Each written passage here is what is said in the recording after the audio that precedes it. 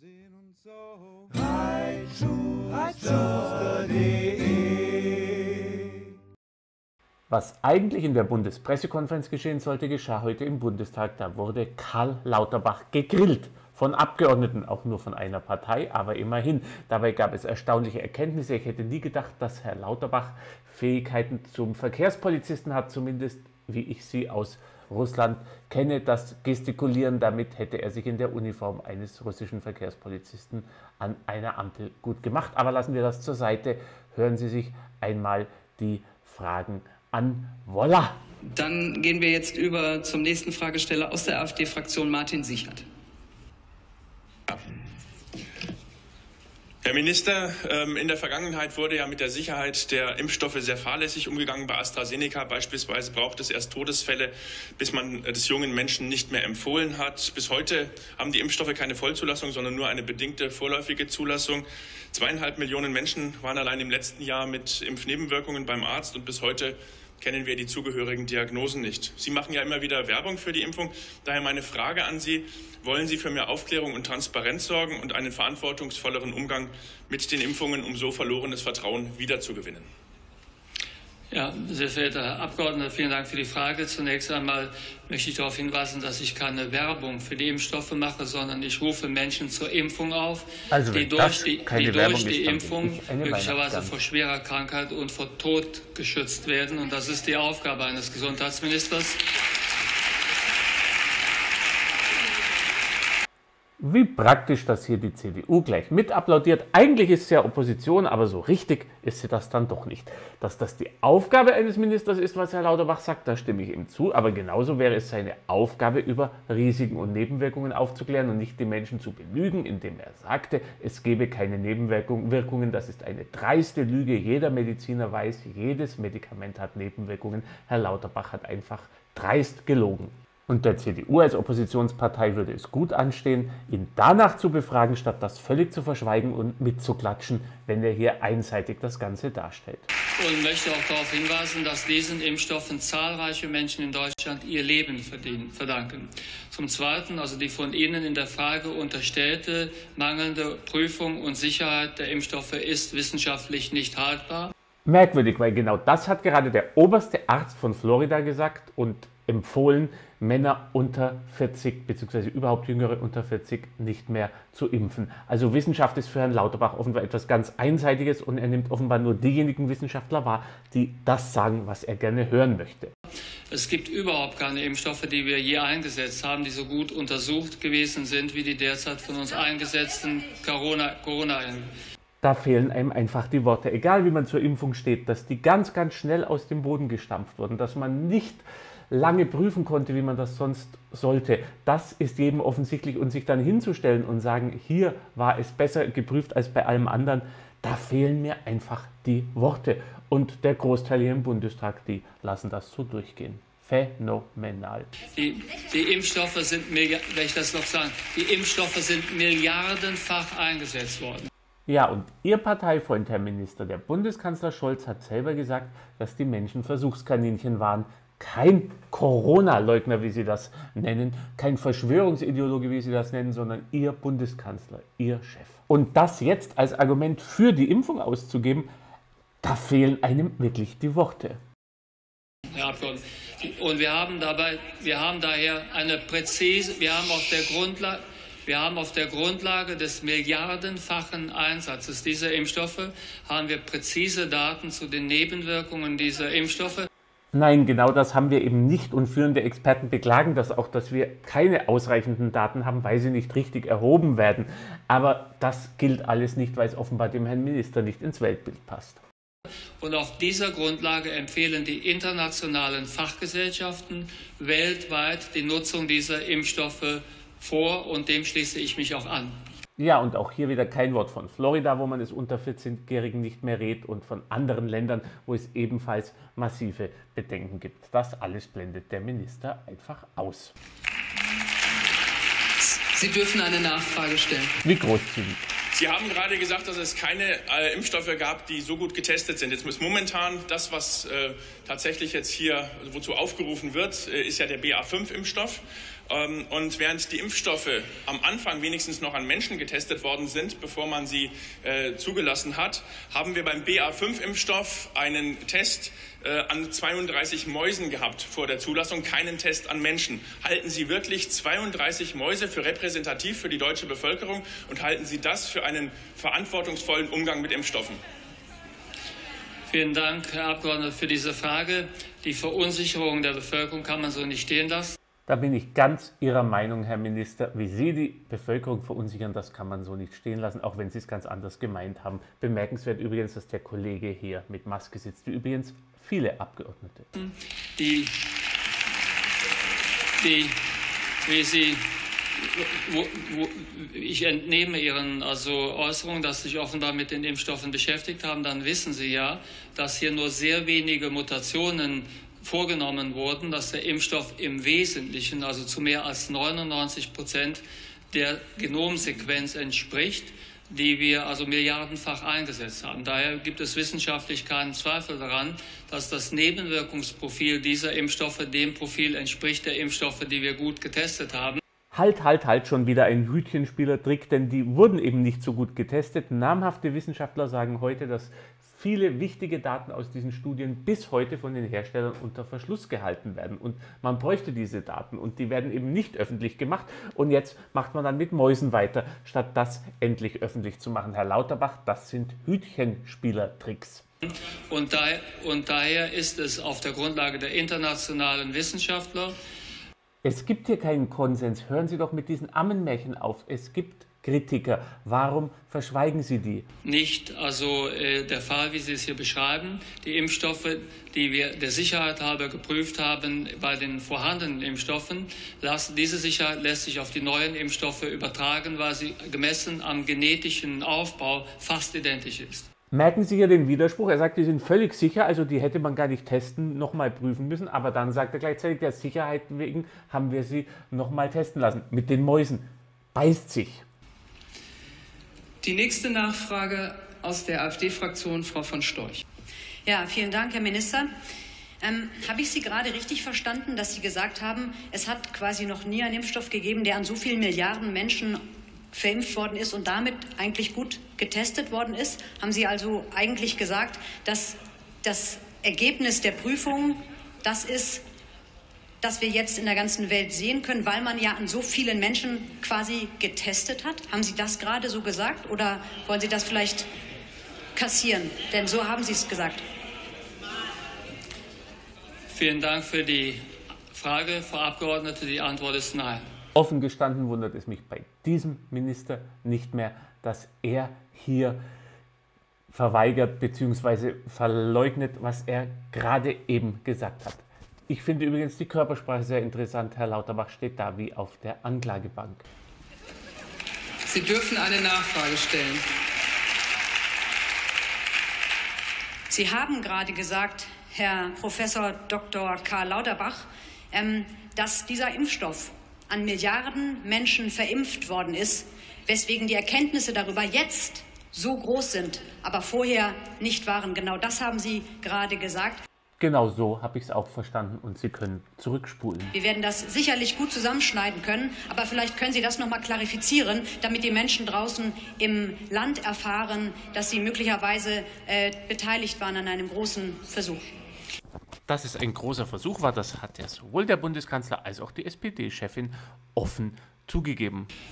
Sehr geehrte Frau Abgeordnete, ich will es Ihnen noch einmal erklären. Ich weiß nicht, ob Sie es nicht verstanden haben oder ob Sie sich hier das kann ich wirklich nicht einschätzen, ob Sie sich hier dümmer stellen, als Sie sind. Herr Lauterbach, die Frau von Storch hat hier lediglich das wiedergegeben, was Ihr Bundeskanzler und Ihre Parteichefin gesagt haben. Also bitte unterlassen Sie doch diese Ungezogenheiten. Aber ich werde es noch einmal erklären.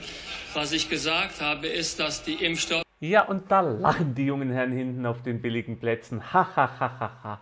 Unfassbar. sicher sind, weil sie an sehr vielen Menschen eingesetzt wurden nachdem sie getestet wurden. Und im Einsatz hat man gesehen, dass die Impfstoffe sicher sind. Ich habe aber nicht gesagt, dass die Impfstoffe bei so vielen Menschen getestet worden sind.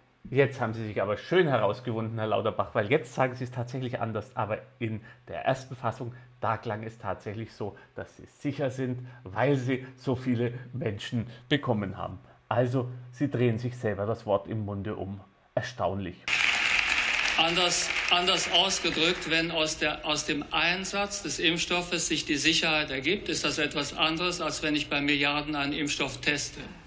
Dass sich Sicherheit ergibt, naja, Floridas oberster Arzt hat gesagt, dass die Rate der pl plötzlichen unerwarteten Herztote um über 80 Prozent gestiegen ist nach der Impfung.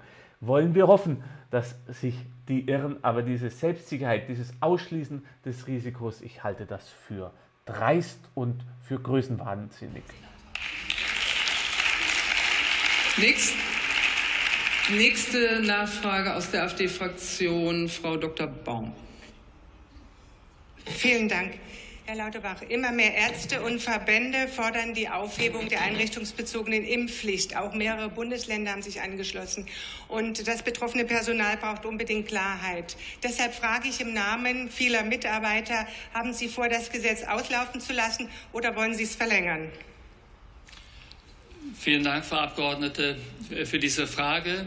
Wir beschäftigen uns derzeit mit der Entwicklung der Pandemie in der also Herbst- und Winterwelle und wir werden von dem Verlauf der Herbst- und Winterwelle abhängig machen, wie wir mit der einrichtungsbezogenen Impfpflicht umgehen.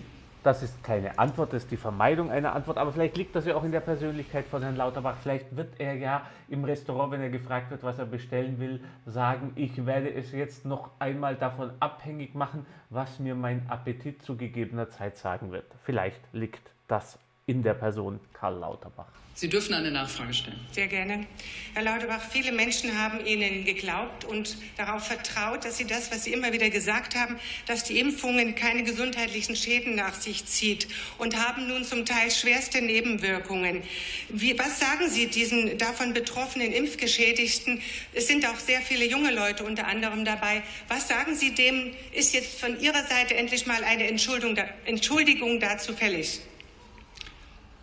Sehr verehrte Frau Abgeordnete, ich glaube, wenn ich ganz ehrlich sein darf, äh, dass hier eine Entschuldigung fällig wäre von Ihrer Seite, wenn Sie diese Gelegenheit nutzen, die Menschen zu verunsichern. Mir fehlen hier einfach die Worte. Wie kann sich Herr Lauterbach hinstellen, nachdem er glasklar gelogen hat, belegbar, es gebe keine Nebenwirkungen, eine völlig unsinnige, unhaltbare Ausgabe, Aussage und jetzt wird er darauf angesprochen und jetzt sagt er, Sie müssen sich entschuldigen. Eine völlige Opfer-Täter-Umkehr, eine völlige Verdrehung es macht mich einfach nur sprachlos. Wenn er etwas Anstand hätte, würde er jetzt sagen, ich habe das damals gesagt, ich habe mich vertan, das tut mir leid, aber ich bin doch aus diesen und diesen Gründen für die Impfung. Aber nein, er dreht das einfach um, dreist und er kommt damit durch in diesem besten Deutschland aller Zeiten. Sie stellen es hier so dar, als wenn die Impfstoffe gefährlicher wären, als sie sind. In Wirklichkeit sterben Menschen, wenn sie nicht geimpft sind. Auch hier wieder verbale Hütchen Spielerei. Die Abgeordnete hat nur gefragt, Sie haben gesagt, dass es keine Gefahr gibt. Und jetzt sagt er, Sie stellen das so hin, als seien Sie gefährlicher, als Sie sind. Wir wissen nicht haargenau, wie gefährlich Sie sind. Und dass wegen Ihnen Menschen nicht sterben, das mag sein. Aber wir wissen auch, dass wegen Ihnen Menschen sterben. Das ist belegt. Auf die Größenordnung kommt es an. Und wie der Minister hier mit Worten manipuliert, das ist schlicht faszinierend und es sterben Menschen, wenn sie nicht mehr ausreichend geimpft sind. Und dieser Verantwortung müssten Sie gerade als ärztliche Kollegin gerecht werden. Und jetzt noch der Angriff auf die Person. Sie als Ärztin müssen der Verantwortung gerecht werden. Herr Lauterbach, Sie sagen ständig, dass Sie Arzt sind. Sie nächste, müssen Ihrer Verantwortung endlich einmal gerecht werden und diese Verantwortung gerne zurückzutreten nach all dem, was Sie gelogen haben, was Sie falsch informiert haben, was Sie Panik geschürt haben. Herzlichen Dank. Ja, Herr Professor Lauterbach, nach allem, was wir wissen, äh, senkt die Impfung ja zudem das Risiko auch einer Long-Covid-Erkrankung. Nichtsdestotrotz sehen wir leider, dass eine Reihe von Menschen deutlich länger als die fünf bis zehn Tage, die man in Quarantäne bleibt, nach einer Infektion auch damit zu kämpfen hat. Deshalb an Sie die Frage, was planen Sie, um die Versorgung für die an Long-Covid erkrankten Menschen in diesem Land zu verbessern? Wollen Sie da speziell auch bei den äh, Spezialambulanzen äh, einen Ausbau vorantreiben und wann ist genau damit zu rechnen? Ja, das war jetzt eine Frage aus der Regierung selber. Sie sehen Stichwort Geberei. Und da muss ich sagen, wenn die Regierungspartei die eigene Regierung nicht kritisch befragt, das ist ja völlig in Ordnung. Was mir aber aufgefallen ist hier, dass das an die Bundespressekonferenz erinnert und es ist teilweise eins zu eins, also wie die Regierungsparteien den Minister hier befragen und wie die Kollegen in der Bundespressekonferenz ihn befragen, das ist teilweise identisch. Ja, das war's. Ich fand diesen Auftritt ganz unsäglich, muss ich sagen. Auch die, die CDU hat sich mit kritischen Fragen massiv zurückgehalten. Das war also sehr, sehr, äh, wie soll ich das sagen, mit Samthandschuhen und selbst da wich er dann aus auf die Frage, wann das sein wird, sagt er einmal, wann nötig. Ja, eine traurige Vorstellung hier in meinen Augen von der Union, aber eine skandalöse von Karl Lauterbach. Ich ich tue mir schwer, das druckreif zu kommentieren. Jetzt ist es schon spät am Abend, das Video. Hier mache ich um halb drei Uhr, also Entschuldigung, wenn ich mich jetzt nicht so zurückhalte, wie ich das sollte.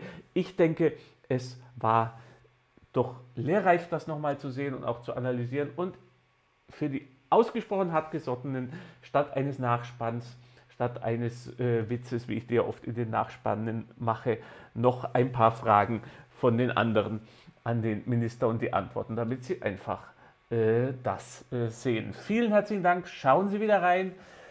Lassen Sie ein Abo da, äh, drücken Sie auf die Glocke, unterstützen Sie, weil wie gesagt, der 18-Stunden-Tag, das ist ohne GEZ-Gebühren, ohne einen Milliardär im Hintergrund, der das Ganze finanziert und ohne Steuermillionen, wie das die braven Medien bekommen. Nur mit ihrer Unterstützung, aber dafür auch nur ihnen verpflichtet. Alles Gute, danke, ciao. Ja, und schauen Sie auch noch kurz in den Shop der Unterstützer. Sehen Sie jetzt gleich den Link. Danke, ciao.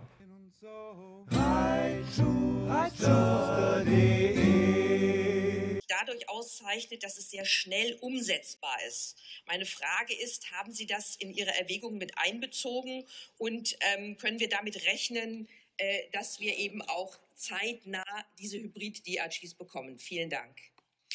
Ja, vielen Dank, Frau Abgeordnete, für diese Frage. Das äh, Gutachten von Professor Schreiök, auch im Auftrag des BMGs erstellt, ist mir natürlich bekannt.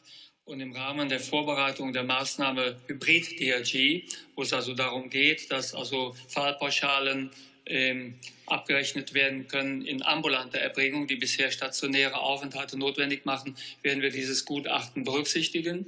Das würde dann auch dazu führen, dass beispielsweise die Kolleginnen und Kollegen, ich spreche von den ärztlichen Kolleginnen und Kollegen, die also äh, an der Versorgung dieser Patienten teilnehmen wollen, diese Möglichkeit bekämen. Wir müssen das System öffnen, sodass also zum einen stationäre Leistungen erbracht werden können, ohne äh, Aufenthalt in der Klinik. Das setzt Pflegekräfte frei. Genau gesagt, die Pflegekräfte werden dann dort weiter beschäftigt, sind aber nicht mehr überlastet. Gleichzeitig müssen wir aber auch die ambulant tätigen Ärztinnen und Ärzte nutzen, damit sie stärker in die stationäre Versorgung eingebunden werden können. Da ist dieses von Ihnen erwähnte äh, Gutachten sehr wichtig und das werden wir selbstverständlich mit berücksichtigen.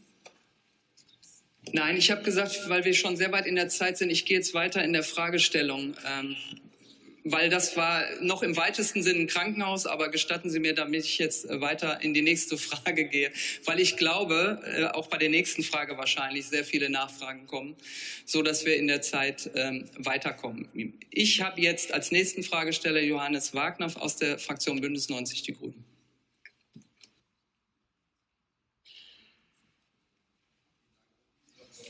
Vielen Dank, Frau Präsidentin. Sehr geehrter Herr Minister, welche Stellung messen Sie dem Vorhaben bei, einem Bundesinstitut für öffentliche Gesundheit zu errichten? Und wie planen Sie und Ihr Ministerium, das in dieser Legislaturperiode noch umzusetzen?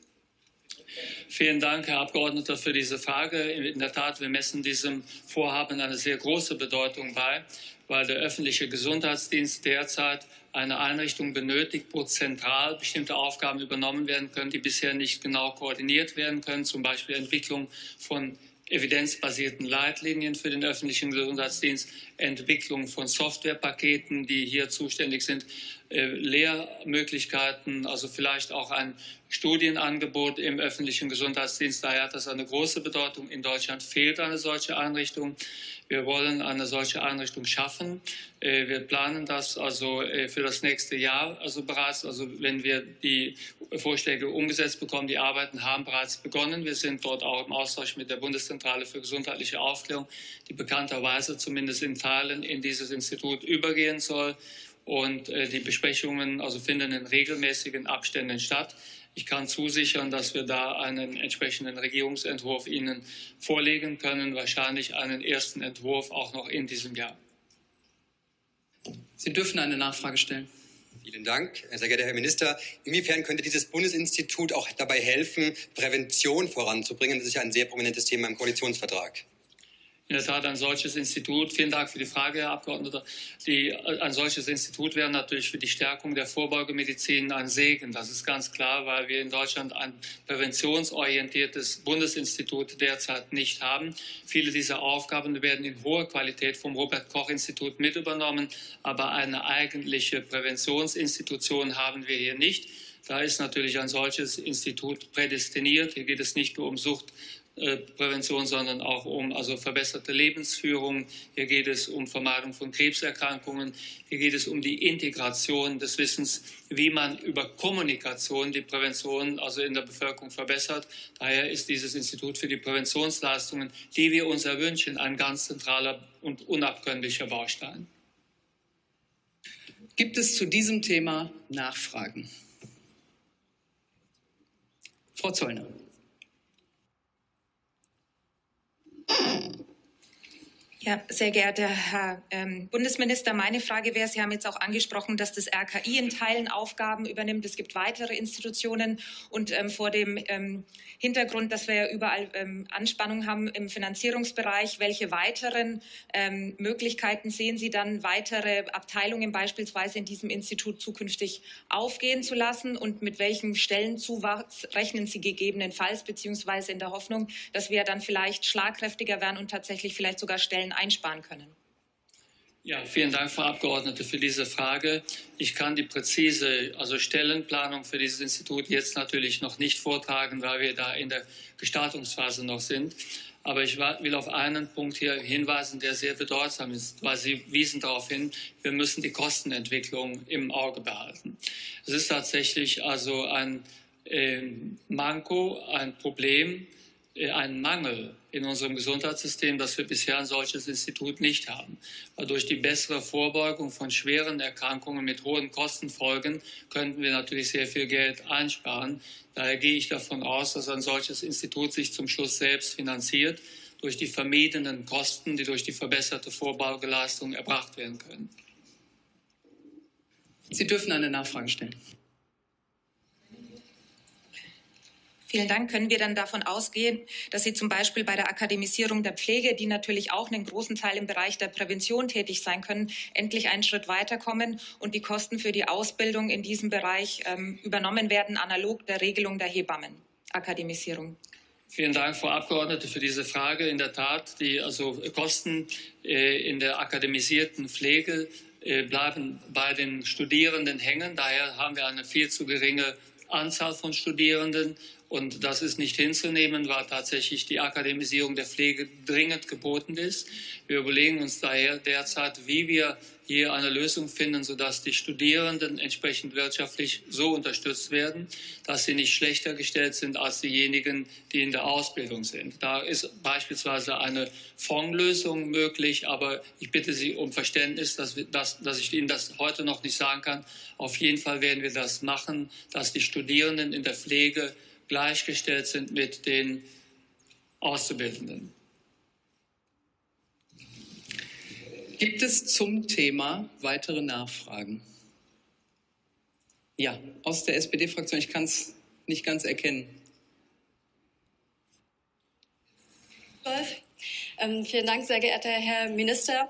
Ähm, zum Institut für öffentliche Gesundheit hätte ich gerne die Nachfrage, ob Sie vielleicht noch mal kurz skizzieren könnten, warum ein solches Institut auch wichtig wäre für die Zusammenarbeit mit den Gesundheitsämtern der Länder und Kreise und warum das für unser Gesundheitssystem eine äh, gute Angelegenheit wäre. Danke.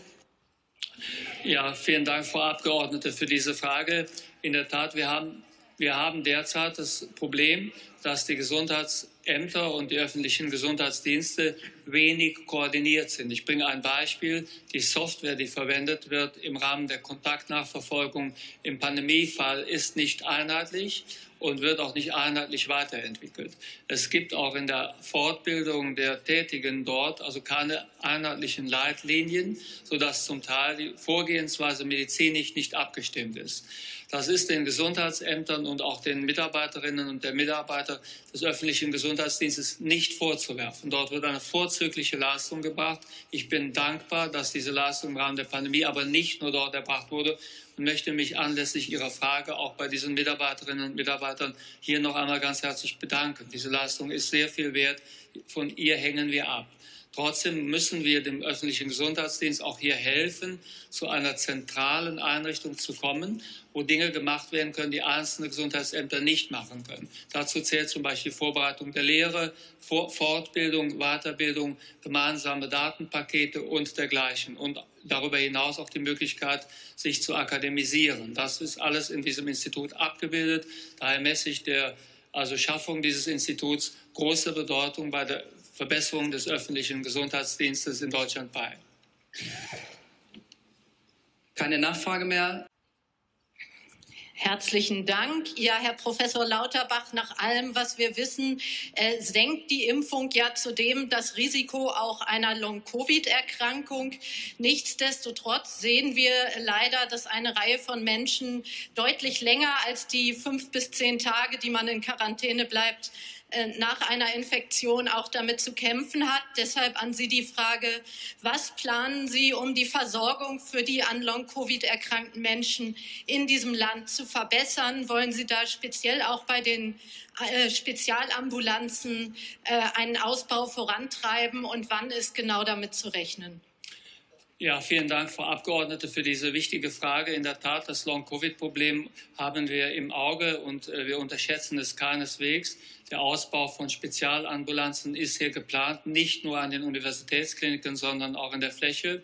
Und darüber hinaus möchte ich ankündigen, werden wir auch uns also auf den Weg machen, ein Programm aufzulegen, wo die Versorgung äh, mit also der Erhebung von Forschungsdaten kombiniert wird, weil wir haben in Deutschland das Problem, dass wir die Versorgung verbessern müssen, aber gleichzeitig auch noch erforschen müssen, welche Versorgungswege die besten Ergebnisse